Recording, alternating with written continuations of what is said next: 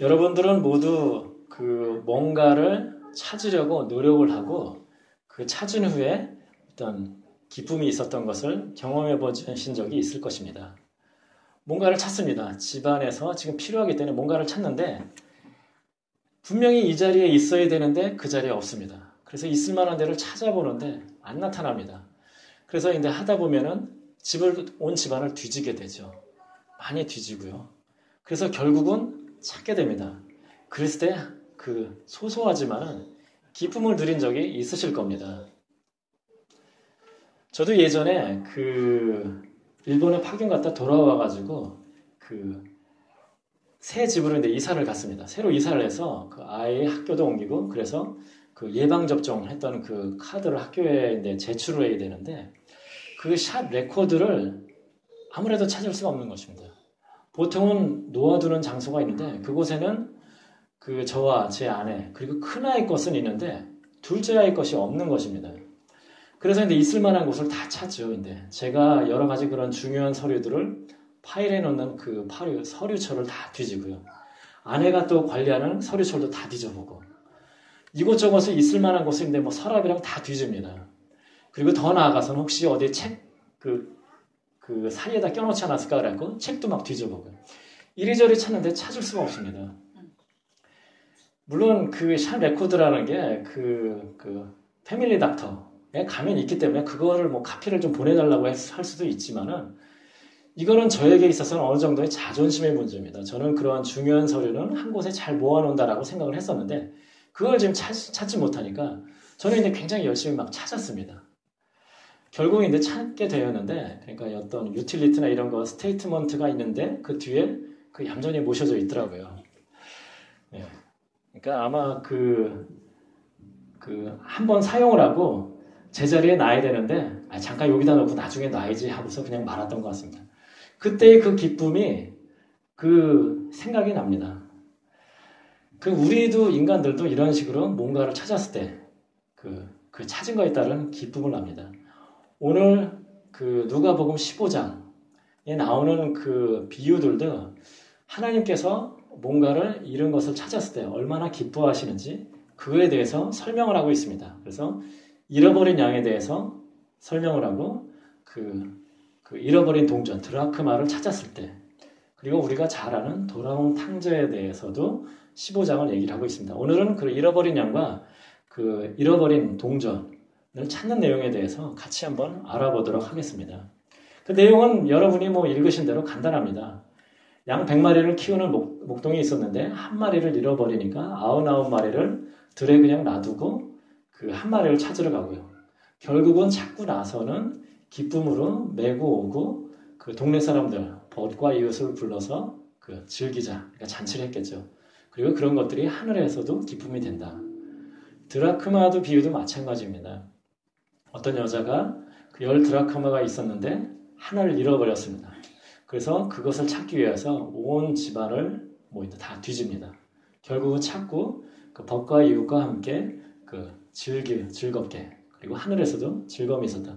비유 내용은 간단합니다. 여기서 어떤 목자 그리고 여인은 하나님을 나타내는 거고요. 그러니까 찾으시는 분 하나님을 나타내는 거고요. 양 잃어버린 양과 잃어버린 동전은 그 인간 잃어버렸다. 즉 죄 가운데 있는 그 인간의 모습을 나타내는 것입니다. 자, 그러면은 여기서 왜 예수님께서는 이런 비유를 하셨는가요? 그 이유는 1절하고 2절에 나옵니다. 1절에 보면은 모든 세리와 죄인들이 말씀을 들으러 가까이 나아오니 세리와 세인들이 말씀을 들으러 왔습니다. 그러니까 2절에서 바리새인과 서기관들이 반응을 합니다. 2절에 보면은 바리새인과 서기관들이 수군거려 이르되 이 사람이 이 죄인을 영접하고 음식을 같이 먹는다 하더라. 그러니까 죄인과 세리들이 예수님과 함께 나오니까 이 사람들이 왜 이 사람들을 하는 예수님께서는 받아들이는가, 왜 영접하고 같이 먹는가라고 얘기를 합니다. 여기서 지금은 수군거려라고 얘기를 하고 있는데 세 번역에서는 이것을 투덜거리며라고 그러니까 불만에 차가지고 불평을 하면서 얘기를 하는 겁니다. 그러니까 결국은 예수님을 지금 비난하고 있는 것입니다. 바리새인은 어떤 사람들입니까? 바리새인이라는 그 이름 자체는 분리된 자라는 뜻입니다. 분리된 자. 즉 율법에서 깨끗하지 않다라고 하는 것들로부터 우리는 분리해서 그것을 엄격히 지키면서 산다고 하는 것입니다.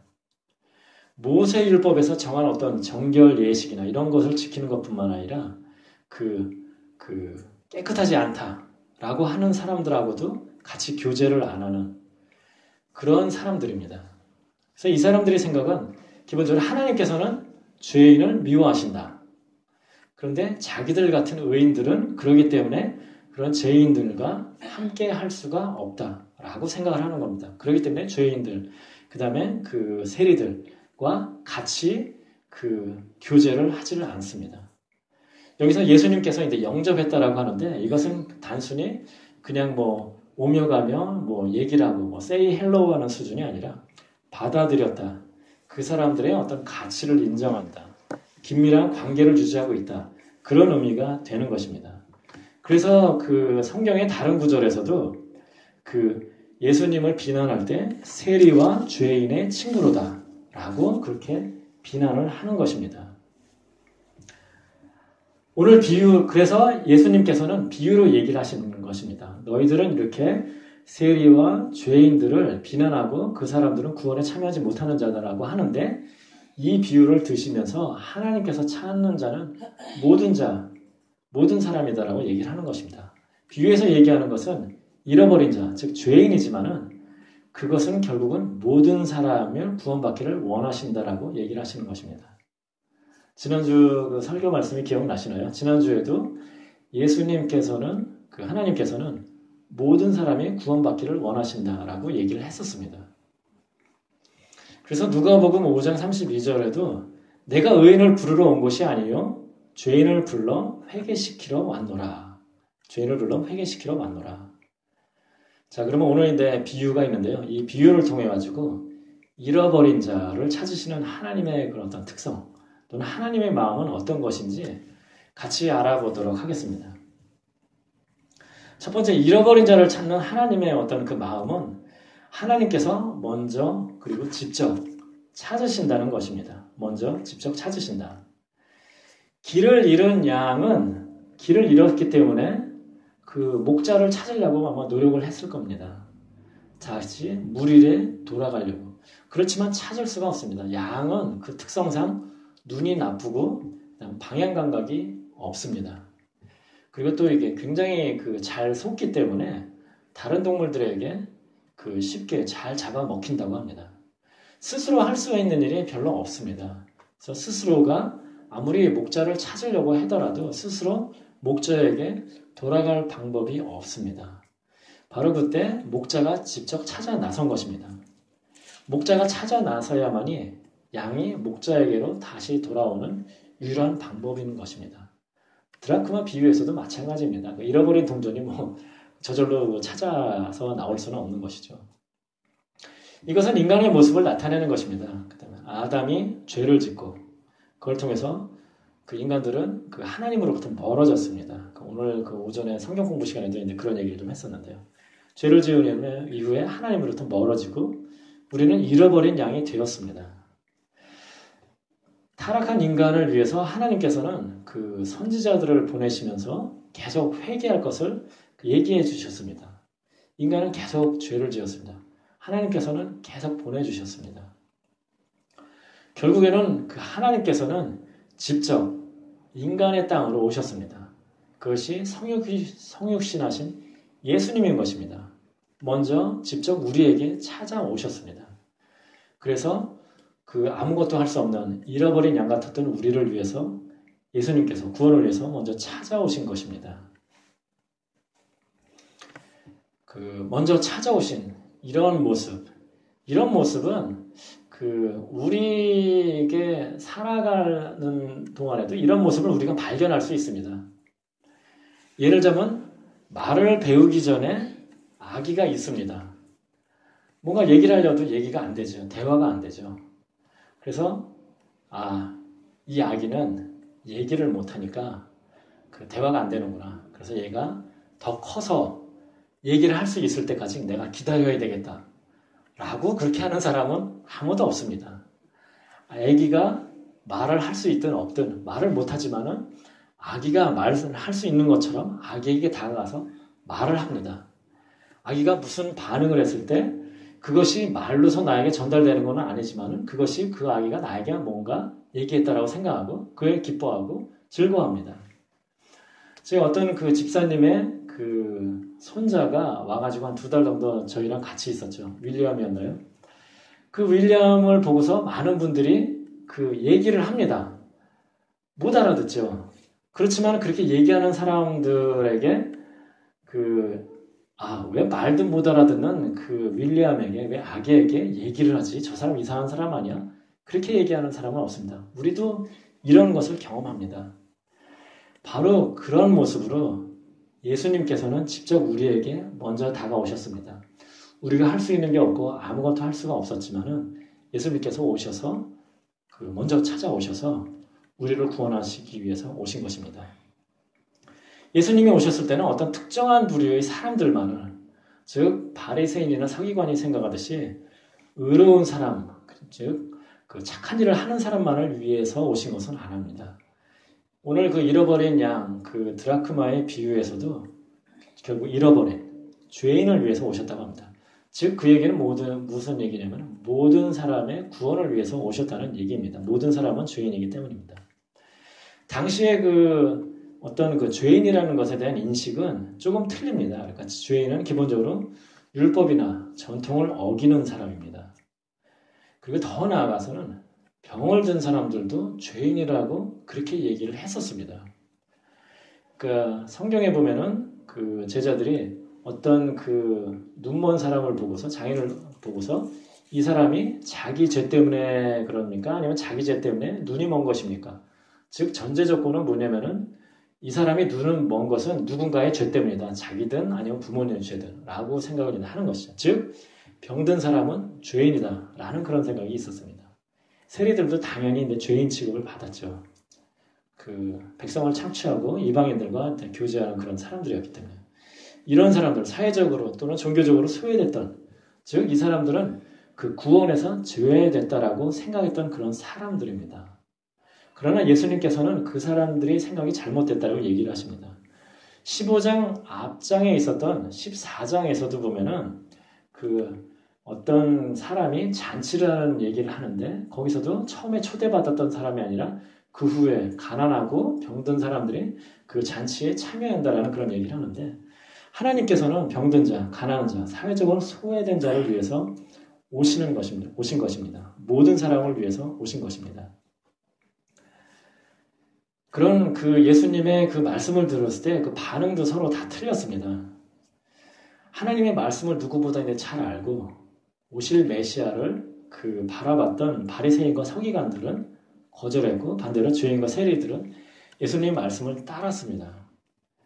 14장의 맨 마지막에 그러니까 하나님께서 그 비유로 쭉 얘기를 하신 예수님께서 비유로 쭉 얘기를 하신 다음에 맨 마지막에 14장 맨 마지막에 하시는 얘기가 들을 귀가 있는 자는 들을지어다라고 얘기를 하십니다. 그리고 15장 첫 번째 절에서 맨 먼저 하는 얘기가 모든 세리와 죄인들이 말씀을 들으러 가까이 나아오니 들을 귀 있는 자 들으라라고 했을 때 제일 먼저 반응을 한 사람이 세리와 죄인들이었습니다.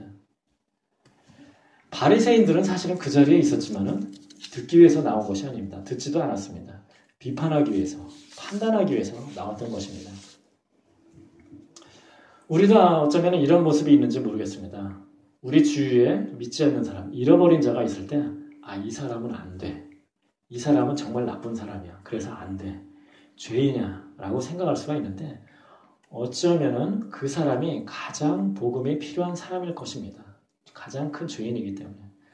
당시에 그, 어떻게 보면은 구원으로부터 일반 사람들이 생각했을 때 구원으로부터 가장 멀 것 같았던 비난받는 어떤 어떤 죄인, 그다음에 병든 자, 세리 이런 사람들을 위해서 오셨다라고 예수님 말씀하시듯이 저희가 우리가 사는 이 시대에서도 어쩌면은 우리가 생각했을 때 아, 이 사람은 아니야 라고 하는 사람이 더 복음이 필요한 사람일 것입니다.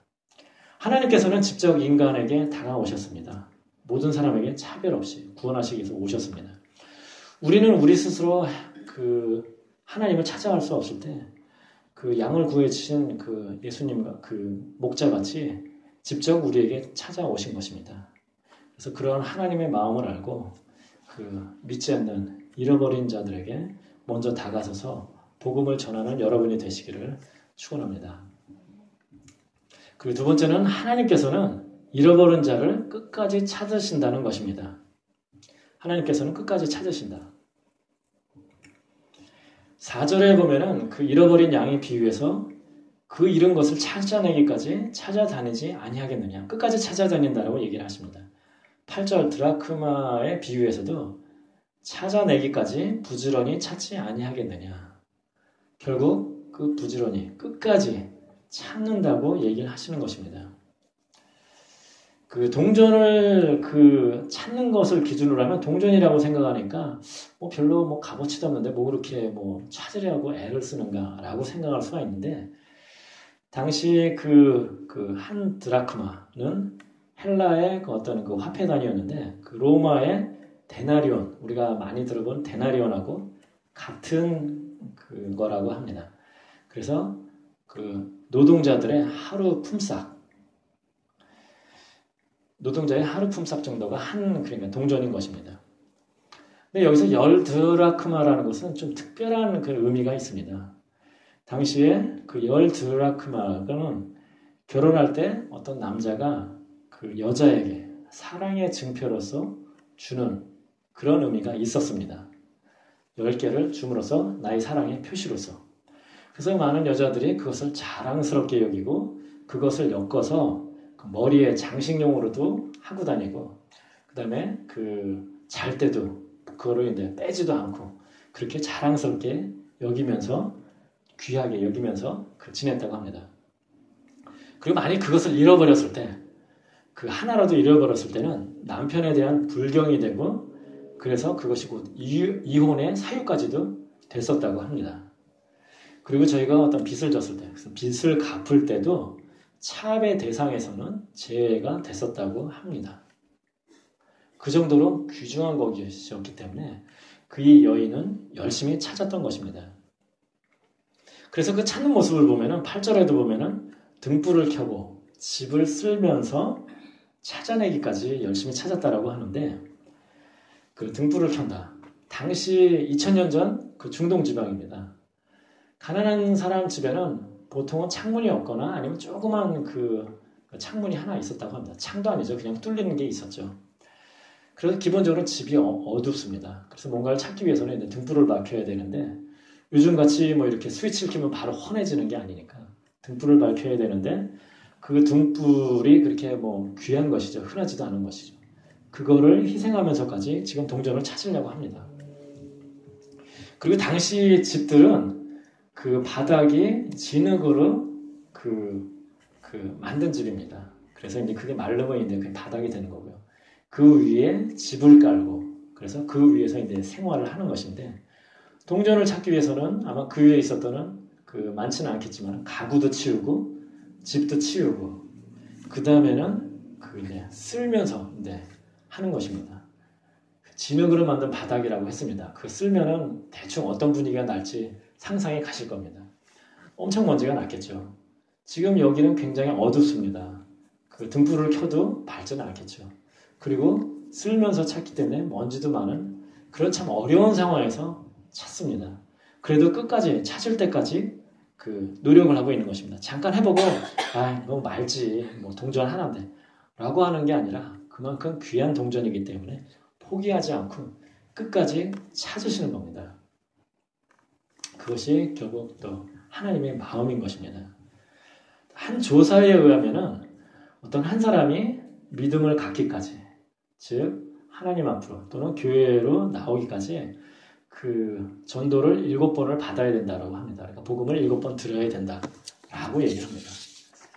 그래서 뭐 어떤 사람 같으면은 뭐 좀인데 좀인데 좀 센 사람 우리 표현으로 센 사람 같으면은 그게 일곱 번이 아니라 뭐 2, 30번이 될 수도 있을 거고요. 어떤 사람은 좀 쉽게 이렇게 전도가 되는 사람 같으면 한두 번 해서 될 수도 있고요.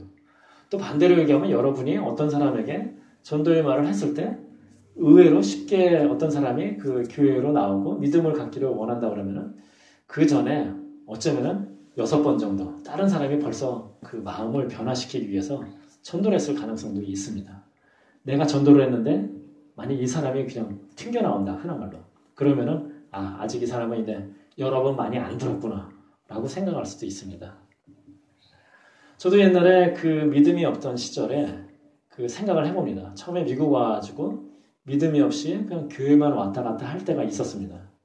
그때 이제 저에게 복음을 전하기 위해서 그 노력했었던 많은 분들이 있었습니다. 그 구역장님이 계셨고요. 또 선배도 있었고 후배도 있었습니다. 그분들이 저에게 어떻게든지 복음을 전하기 위해서 믿음을 갖기 위해서 여러 가지로 노력하고 알려주려고 했던 분들이 있습니다. 저도 어쩌면은 그 후에 그 교회에서 그 다시 하나님을 예수님을 만났는데 그런 분들의 그러한 노력들이 쌓여가지고 그렇게 됐을 수도 있습니다. 이 얘기를 들으면 좀 위안이 좀 되시죠. 내가 했을 때 바로 안 될 가능성이 있구나라는 것. 그러지만은 마찬가지로 아직도 힘듭니다. 그래도 내가 거절을 당하면은 마음이 상하죠, 사실은.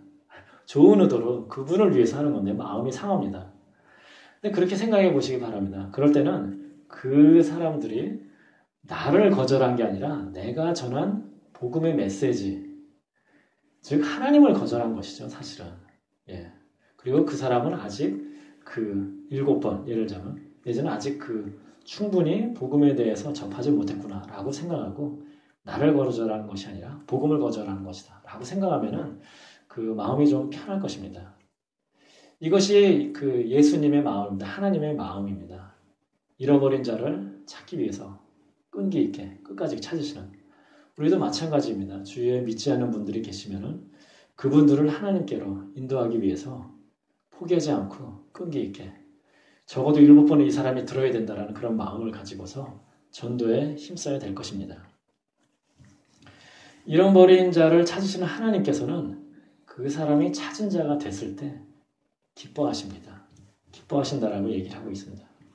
5절, 6절에 보면은 그 또 찾아낸 즉, 즉 즐거워 어깨에 메고 집에 와서 그 벗과 이웃을 불러 모으고 말하되 나와 함께 즐기자 나의 잃은 양을 찾아노라 찾아내었노라 즉 찾은 후에 그 너무 기뻐가지고 그 벗과 이웃 주위의 사람들을 불러 모아서 그 그러니까 즐기자 잔치를 했다는 얘기입니다. 드라크마 비유에서도 똑같은 마찬가지 얘기가 나옵니다. 그리고 7절에는 더 나아가서 내가 너희에게 이르노니 이와 같이 죄인한 사람이 회개하면 하늘에서는 회개할 것 없는 의인 아흔아홉으로 말미암아 기뻐하는 것보다 더하리라. 하늘에서도 기뻐한다라고 얘기를 하고 있습니다. 10절 드라크마 비유에서도 마찬가지입니다.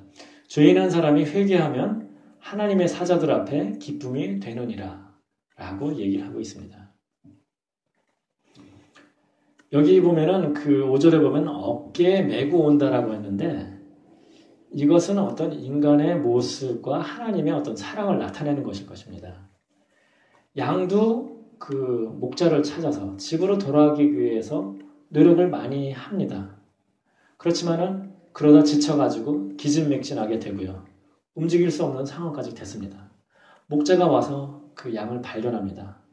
양을 다시 그, 그 가족에게 돌아오게 하는 방법은 들쳐매고 오는 방법입니다. 즉 이것은 그 예수님께서 하나님께서 보여주시는 어떤 그 사랑, 돌보심 그런 것을 나타내는 것, 것입니다.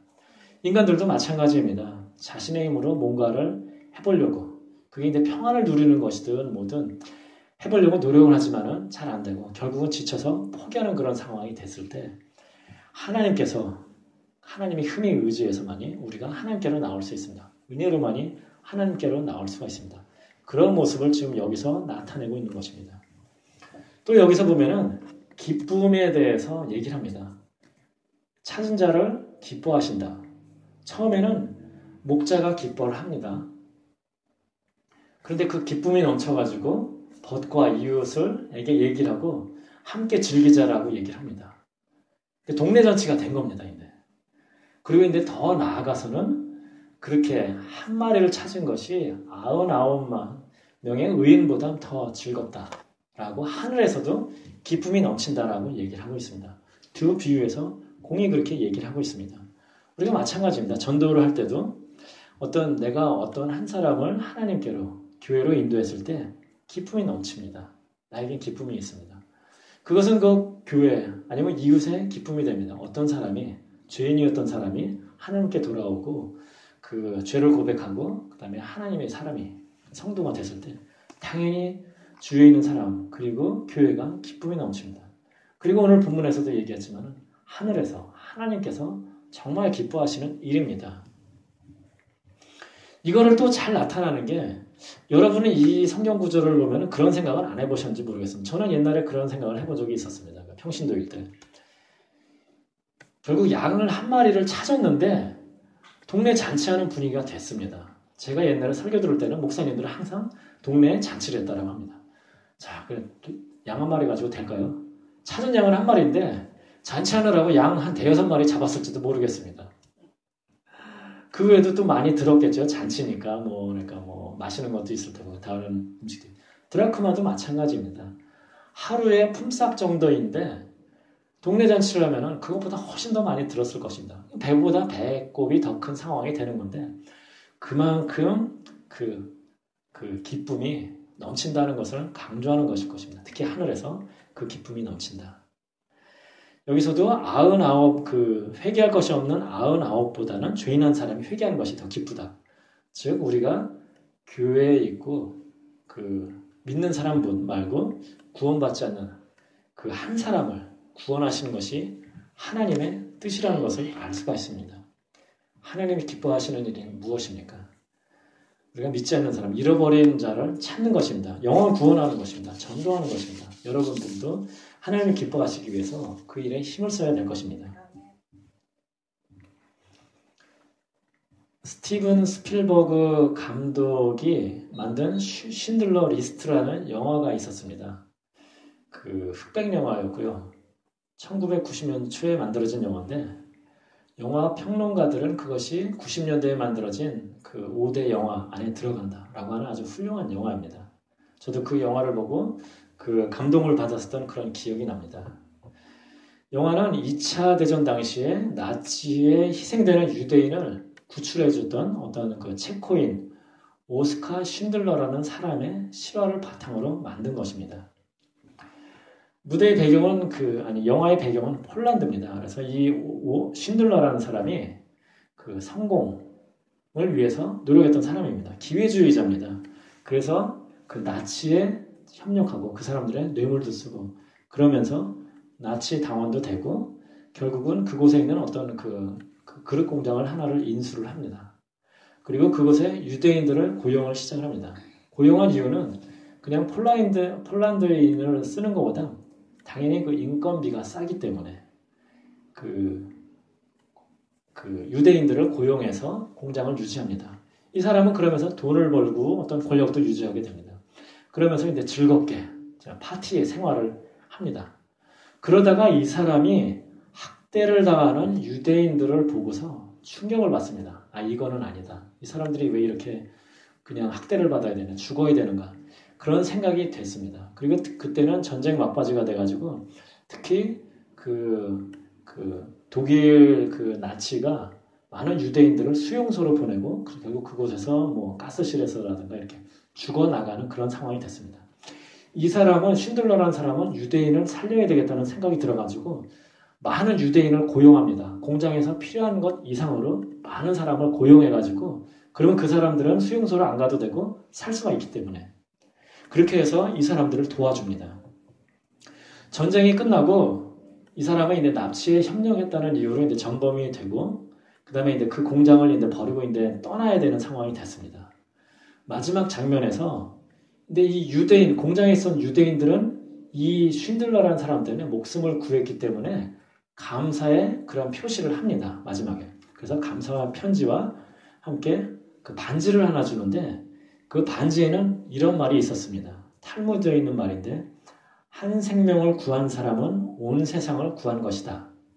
라고 이제 써 있었습니다. 이 글씨를, 이 글을 보고서 쉰들러가 생각을 하면서 흐느끼기 시작을 합니다. 그러면서 그 사람이 이제 얘기를 합니다.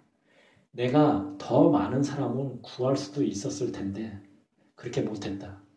그러면서 그 사람이 자기가 타고 가려고 그러는 차가 옆에 있었는데 그 차를 가리키면서 내가 이 차를 만약 팔았더라면은 10명을 더 구할 수 있었겠고 그 다음에 금으로 만든 어떤 피널인데 있었는데 그 이것을 만약 팔았으면 내가 두 명을 더 할 수, 구할 수 있었을 텐데 그리고 이 사람이 워낙 그 그 돈 벌고 이런 거에 그리고 즐기는 거에 했었기 때문에 많은 돈을 낭비를 했습니다. 그러니까 내가 그렇게 낭비만 하지 않았더라도 더 많은 사람 구했을 텐데 내가 더 많은 사람을 구할 수 있었는데 구하지 못했다라고 자책을 하면서 흐느끼는 그런 내용이 나옵니다.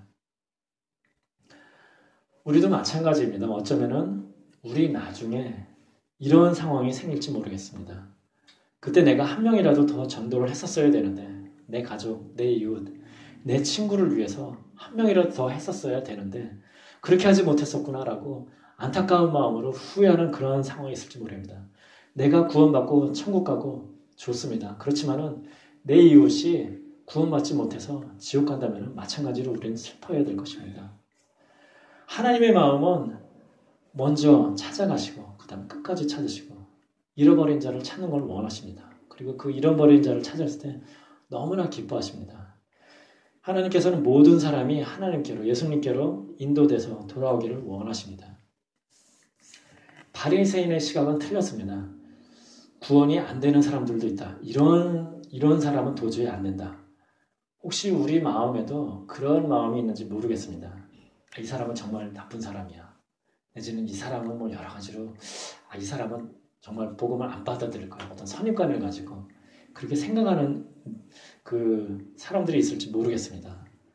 바로 그 사람을 위해서도 예수님께서는 십자가에 죽으셨습니다. 예수님께서는 모든 사람을 오늘의 비유를 기준으로 하면은 죄인과 세리 잃어버린 사람들을 위해서 오신 것입니다. 에스겔서 30장 11절에도 보면은 나는 악인이 죽는 것을 기뻐하지 아니하고 악인이 그 길에서 돌이켜 떠나 사는 것을 기뻐하노라. 악인이 죽는 것을 기뻐하지 않으신다라고 합니다. 이것이 하나님, 예수님의 마음입니다. 우리는 모든 사람이 구원받는 그 하나님의 말씀, 그 마음, 예수님의 마음을 가지고서 예수님이 기뻐하시는, 즉, 잃어버린 자를 찾기 위해서 말씀을 전하고 전도하는 일에 더욱더 힘써야 될 것이고, 그걸 통해서 하나님께 영광 돌리는 삶이 되어야 될 것입니다. 사랑이 마신 하나님 아버지 감사합나이다. 오늘 말씀을 통하여서 하나님의 마음, 잃어버린 자를 향한 마음을 알아볼 수 있도록 하시면 감사드립니다. 주님께서 정말로 아버지여 먼저 찾아오시고 끝까지 찾으시고 아버지여 그, 그 사람들을 위해서 십자가에 돌아가셨음을 감사드립니다. 우리도 같은 마음을 갖기를 원하옵나이다. 우리 주위에 있는 아버지 가족과 이웃과 친구들을 위해서 아버지가 불쌍히 여기는 마음, 그들도 구원받아야 되겠다는 그런 마음을 갖기를 원하옵나이다. 저희를 용기를 주, 주시옵시고 저희를 더욱더 담대할 수 있도록 주님께서 도와주시옵소서 예수님 이름으로 기도드렸습니다.